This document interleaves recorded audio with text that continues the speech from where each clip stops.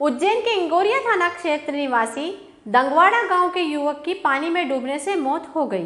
दंगवाड़ा निवासी 30 वर्षीय युवक गाँव के सीमा क्षेत्र में आने वाली पानी से भरी डबरी में डूब गया और इससे युवक की मौत हो गई। जैसे ही ग्रामीण को सूचना मिली, ग्रामीण घटनास्थल पर पहुँचे और साथ ही पुलिसकर्मी भी पहुँच गए। युवक के शव को डबरी के पानी से बाहर निकाला गया जिला अस्पताल लाकर पोस्टमार्टम करवाकर शव परिजनों के सुपुर्द कर दिया गया। पुलिस ने मर्ग कायम कर जाँच शुरू कर दी है। उज्जैन से वीरेंद्र शर्मा की रिपोर्ट।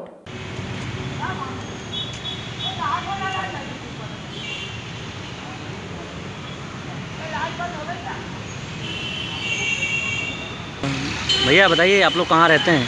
गाँव दंगवाड़ा तहसील अच्छा ये जो भैया हैं इनका क्या नाम है? गाना कन्हैया कन्हैया दास। क्या हुआ क्या था क्या हुआ? सुबह सुबह लेटरिन के लिए गया था वो अच्छा।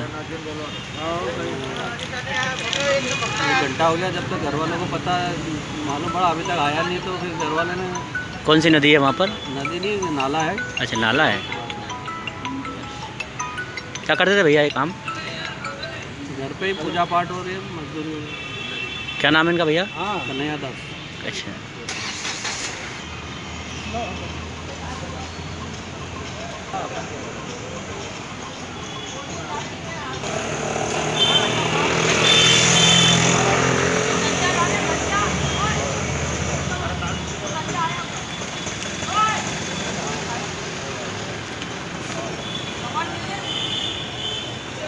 Mì Gõ Để không bỏ lỡ những video hấp dẫn